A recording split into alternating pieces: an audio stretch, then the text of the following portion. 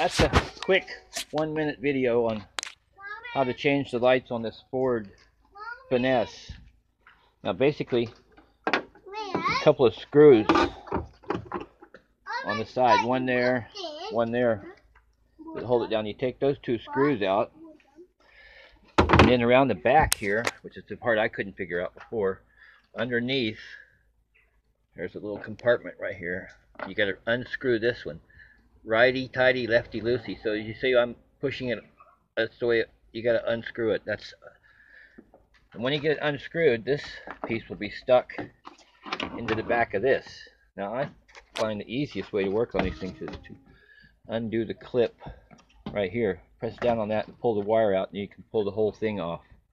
Now I'm going to try and stick it back in. That's actually no. I'm going to take it off again and put it in there, and then put it back in there. So that's basically it. Um, you know, when you change the bulbs, you got to get the right bulbs.